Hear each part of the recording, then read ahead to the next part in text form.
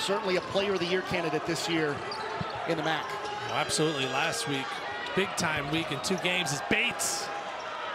Dennis working inside. Nice little late dish off, and they turn it over. Three on two, leaving it back. Bates for three, got it. Now Eastern Michigan starting to find some form here. Assist to turnover ratio, and that's back-to-back -back turnovers for him.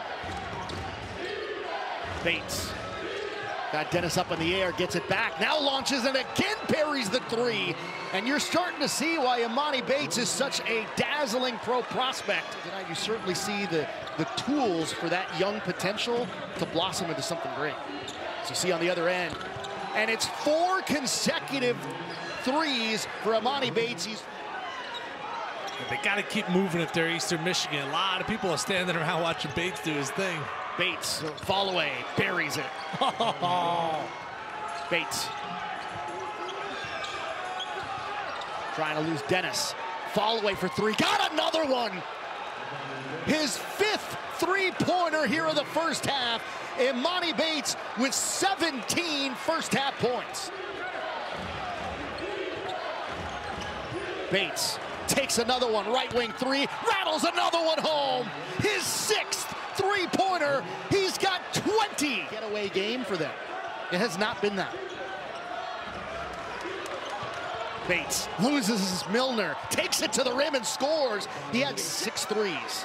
Dennis left open for the three, misses short. Rebound grab, out of the open floor.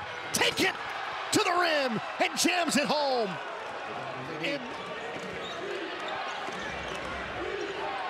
Heat check.